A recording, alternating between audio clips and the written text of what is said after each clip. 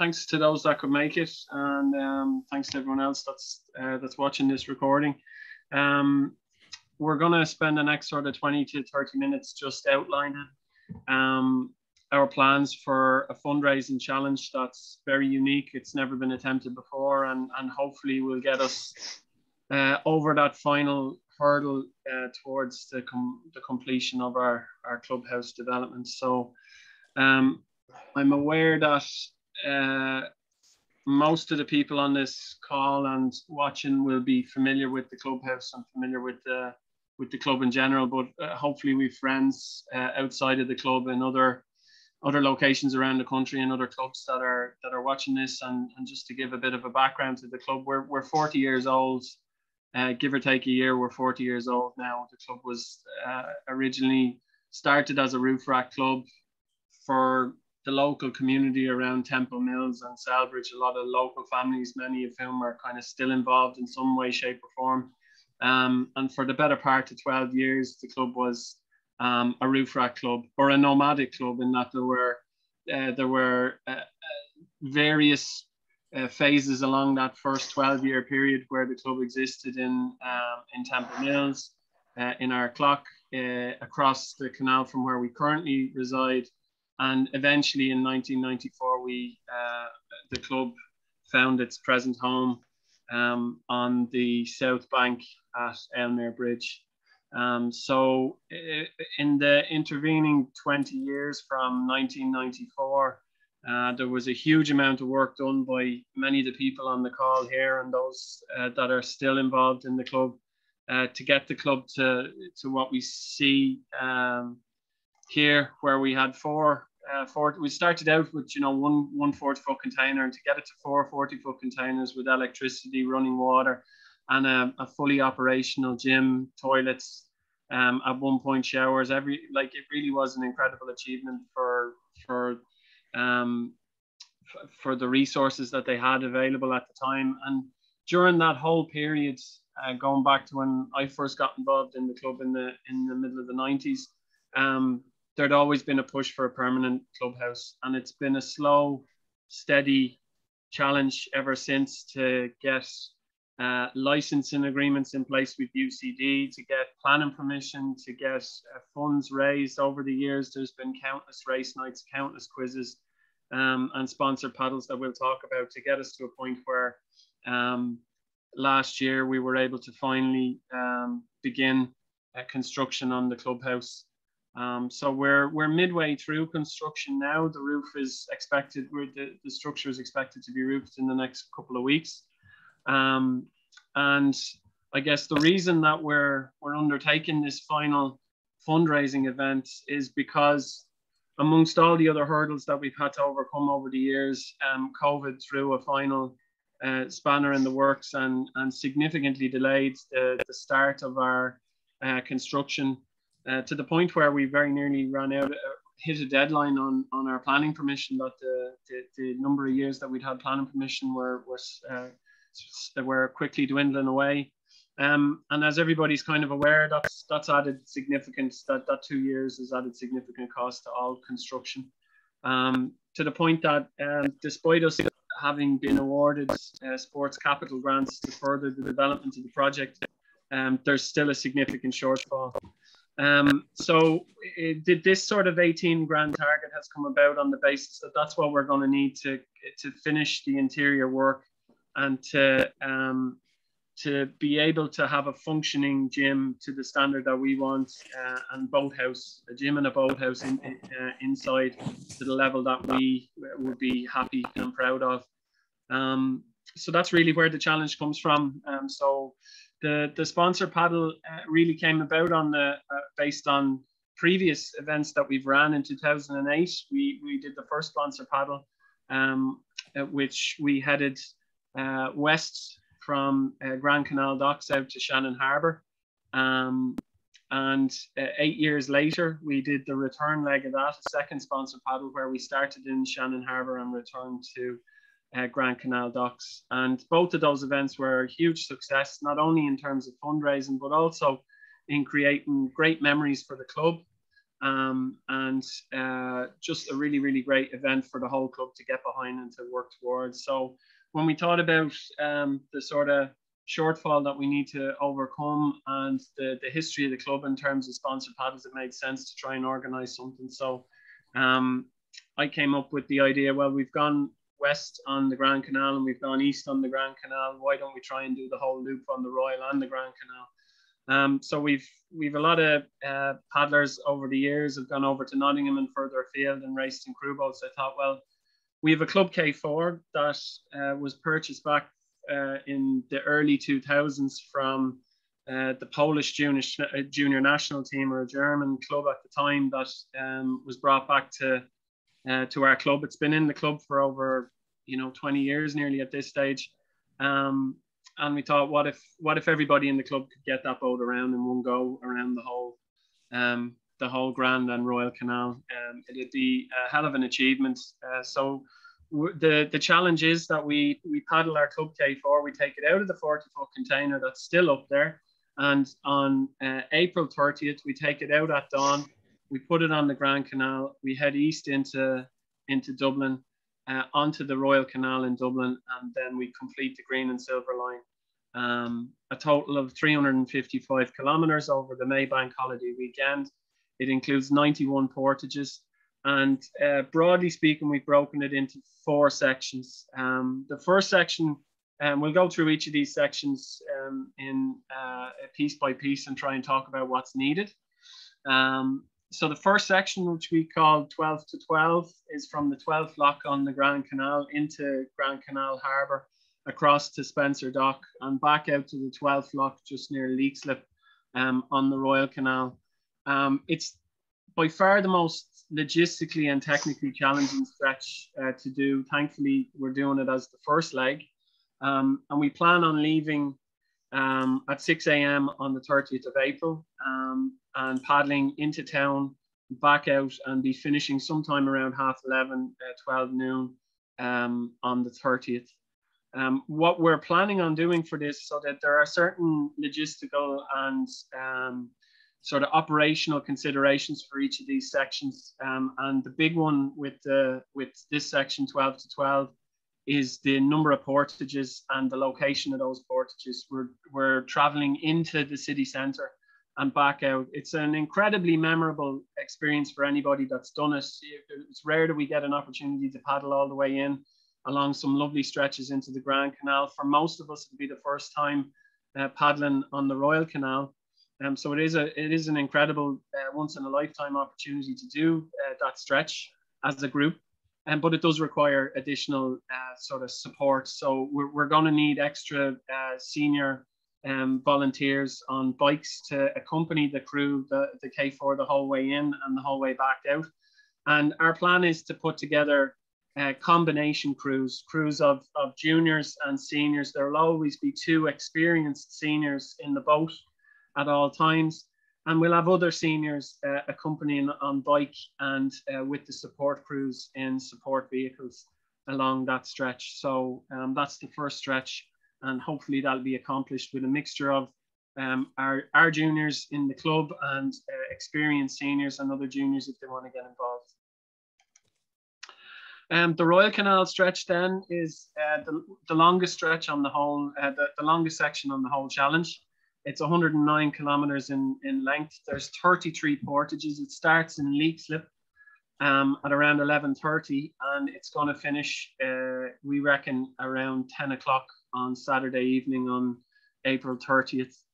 Um, we're hoping to accomplish this with three uh, senior K4s. Uh, we're putting out our most, we're putting out our most um, not experienced, I'd say our fittest four paddlers uh, would be the best way to put it.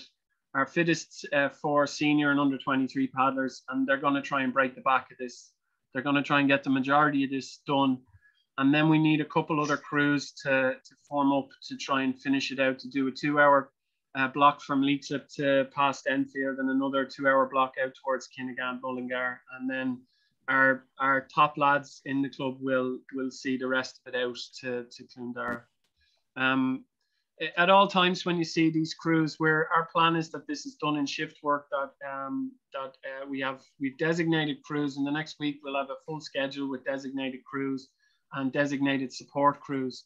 Um, and at that stage, the support crews and the paddling crews um, can start to work on their sections where are the important bridges and locks, and we'll work through that over the next week or two so that everybody knows their role and everyone knows their responsibility for the stretches that they've got to get through. Um, so on April 30th, there's an overnight stop, a very short overnight stop. We're, we're factoring in that things might not go according to plan on the first two sections. And we might have a very tired and uh, very, very fatigued uh, crew arriving in uh, in the in the wee hours of the morning on April 30th. So we've booked accommodation at uh, the Shannon Bar in Termonbarry. Uh, we've six beds booked, um, which we're we're hoping will allow for the the Lough Ree uh, K4 crew to get a good night's sleep and for um, the crew that arrives into Termonbarry that if there's anybody that really needs a good night's sleep that can't uh, that wants to sleep over there we've the option of trying to get a few more beds. So we'll see we might we might book a few more um, and make a night of it down in in Termonbarry um, so that that'll get us that'll get us over half the distance done.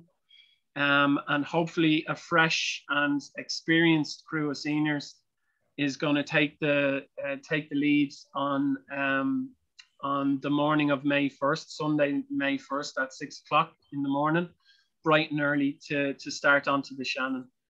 Um, this is the riskiest stretch uh, for a lot of reasons. It's very weather dependent, and we will be making a weather call on the entire event, probably on the Wednesday before the event runs. Um, uh, so we're, we're hoping that the that two senior K4s, our, our most experienced group of, of seniors, will will take the, the helm across uh, Lough Ree. We have Westmeath Civil Defence have uh, are, are, are providing uh, support uh, in in way of a, a, safety boat across Lough Ree.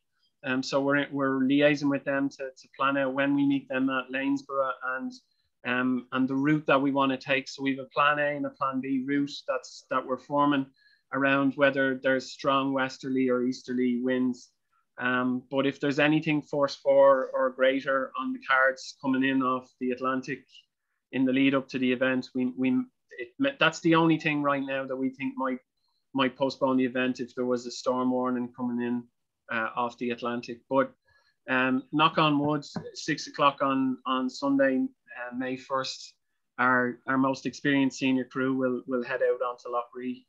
Um, they'll arrive um, about three hours later in um, in Athlone, um, swap over if necessary, and the, a second senior crew will finish out the stretch down as far as Shannon Harbour. Um, section four then is the is the section where uh, we as a club are most familiar with. We've done it plenty of times, um, and we know the we know the challenges. Um, it's a 99 kilometer distance from Shannon Harbour back to our club. Um, there's 24 portages. Um, we reckon it can be done in 10 hours. Um, so we expect that this stretch, this is the finishing stretch. So we're suggesting that this is another stretch where we can we can schedule junior and senior crews of all ages and abilities to get in the boat and, and put a couple hours in and, and let's see the journey out to, to completion. Um, we'll need we'll need a, uh, support as per every stretch on the on the route, and we'll talk about support crews now in a little bit. Um, so we expect to arrive into uh, clock GA Club sometime, depending on if all is going according to plan. Um, we don't know. They're, they're, we're building in contingency that this arrival event may happen on, on the bank holiday Monday, but we're hoping if all things go according to plan that we can have a nice welcoming party for um, for the K4 uh, at Ardclough GAA Club on the on uh, Sunday evening of a bank holiday weekend in the lounge there, and that might see it out. Um, so at that event, hopefully we can uh, we can make a provision provisional announcement on the on the funds that have been raised. There'll be obviously a few little bits uh, still to come in, but we expect most of the funds will be raised at that stage. Uh, we might have a prize for the most funds raised, maybe a bit of a raffle, and we, we might try and organize a bit of music as well just to make, make an event of it.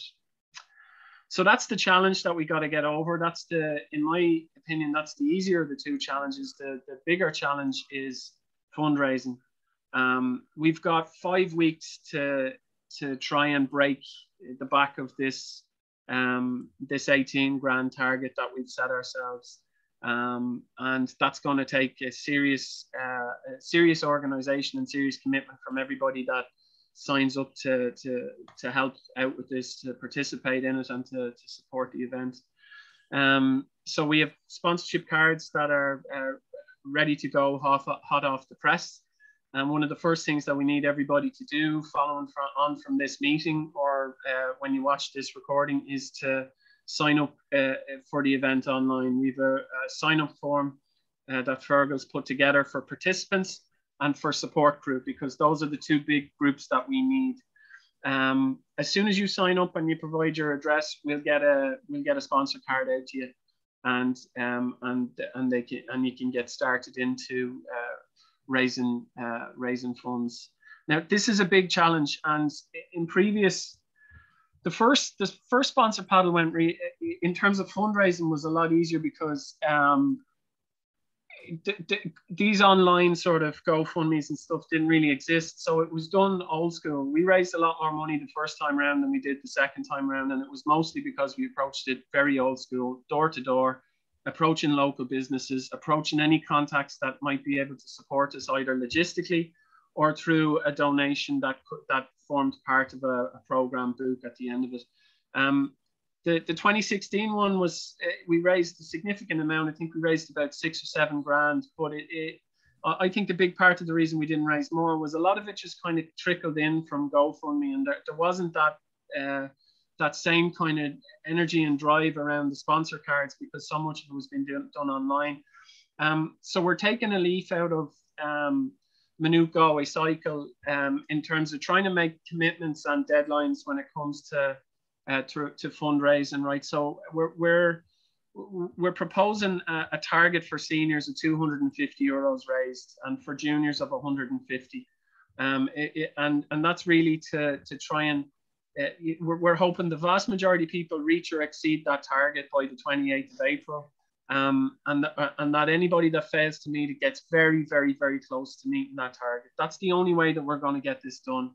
Um, we, we need 30 paddlers to, to front up um, and participate in this, and we need them all to, uh, to raise, uh, you know, 150 to 200 euro, 250 euros for us to meet our target.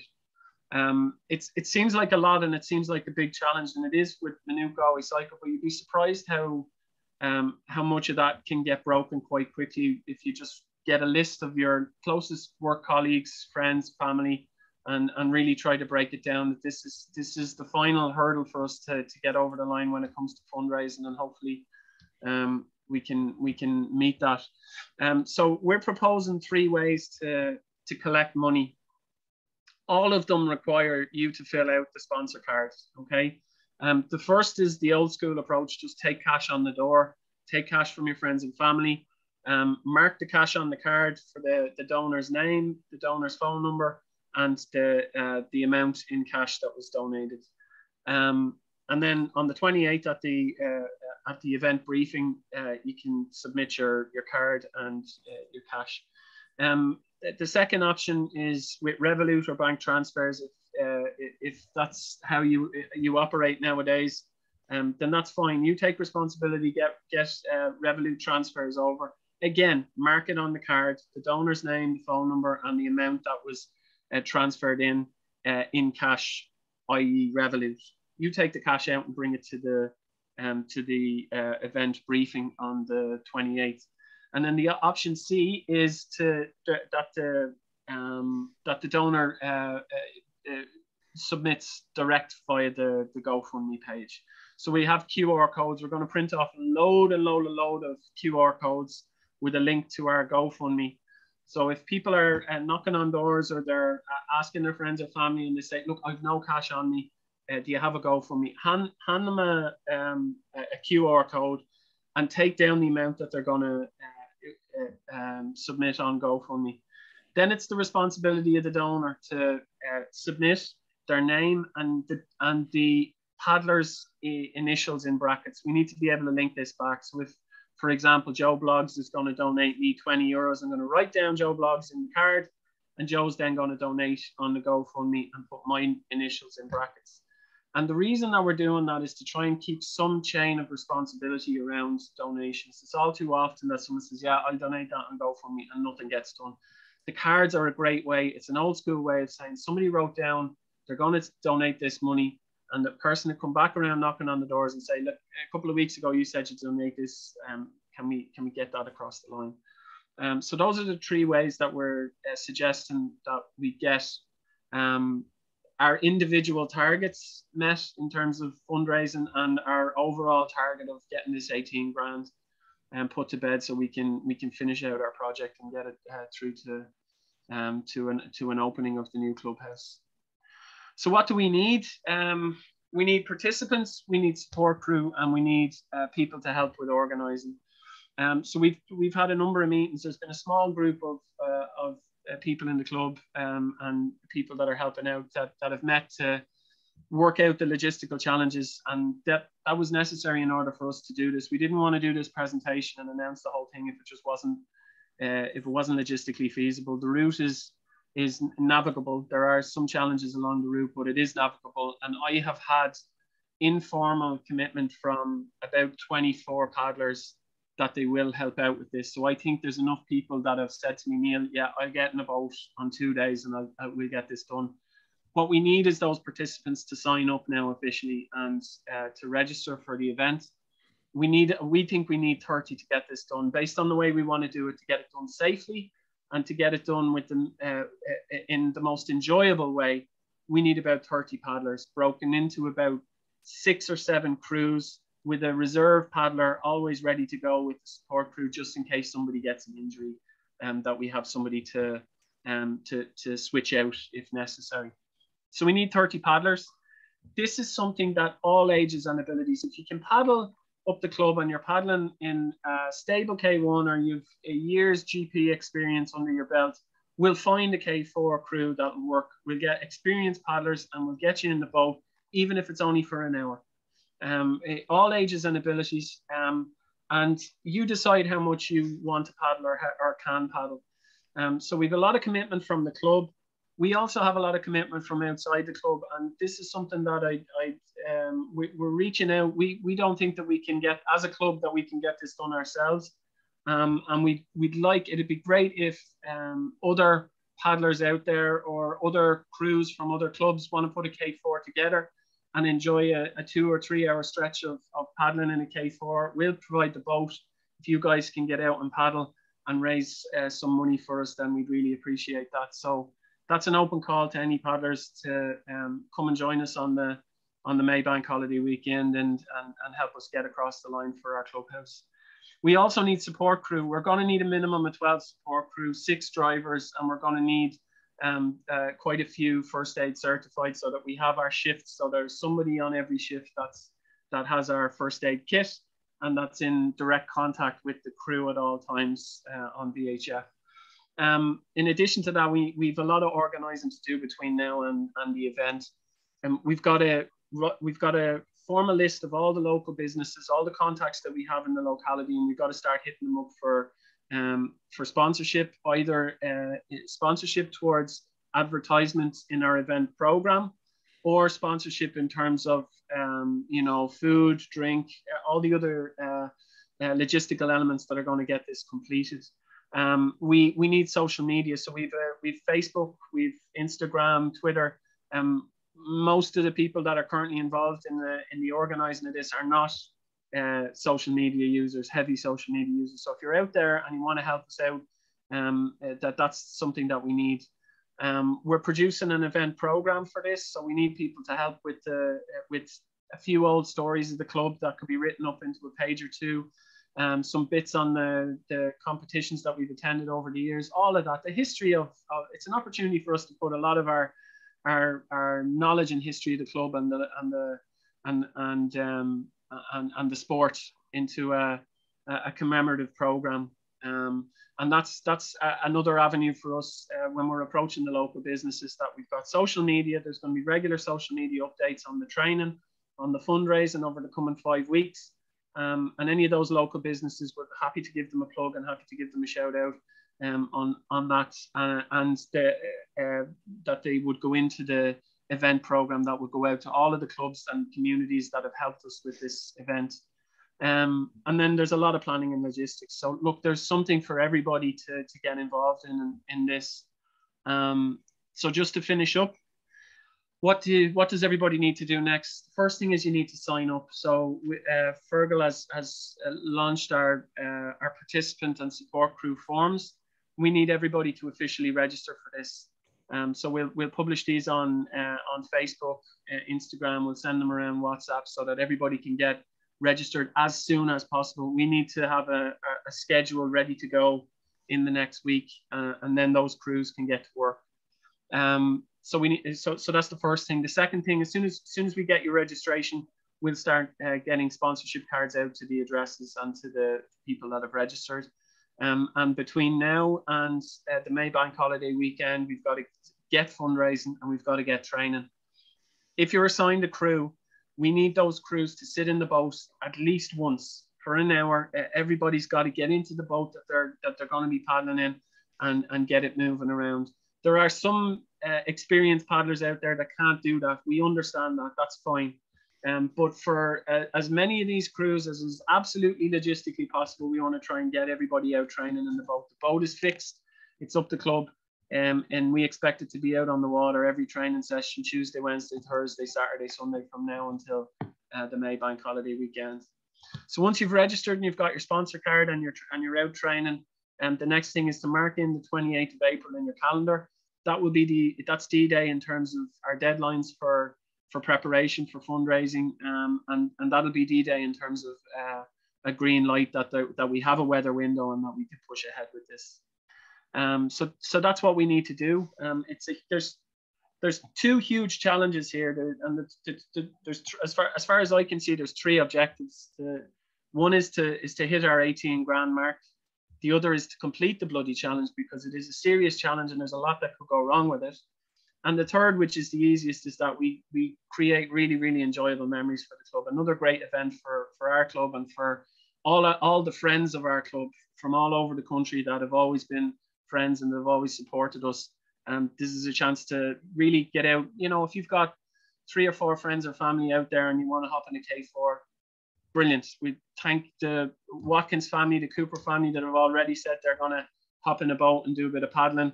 Um, and we expect to see lots of other paddlers signing up. So uh, if, if we can get that done, I think objective three, having a really enjoyable weekend, that's going to be the easy part. Um, so that's it from me. Um, I'd one other thing on COVID, just for support crew, just so you're aware. Um, you know, we're in a kind of a a bit of a state of flux with regards to COVID in, in Ireland at the moment. Um, so uh, for support crew, just if you're signing up to be a, a supporter to help out on the on the logistics in terms of traveling along with the with the crew, making sure that they're getting through the portages, traffic management, that sort of stuff. Just be aware it's, there, there will be a requirement that everybody has a negative antigen test on the 28th. So we need everybody to be COVID free. Um, if we have a green light on the event and we've uh, we've all our paddlers COVID free, and our support crew COVID free, um, then that's a big hurdle in terms of running a safe event. And then the other element of it from a safety perspective with COVID is just that the support crew will be um, wearing masks uh, when they're traveling, and, and the paddlers that are being uh, ferried in and out, we will need um, masks for that. So that's that's really it. I'll leave that, that slide up there.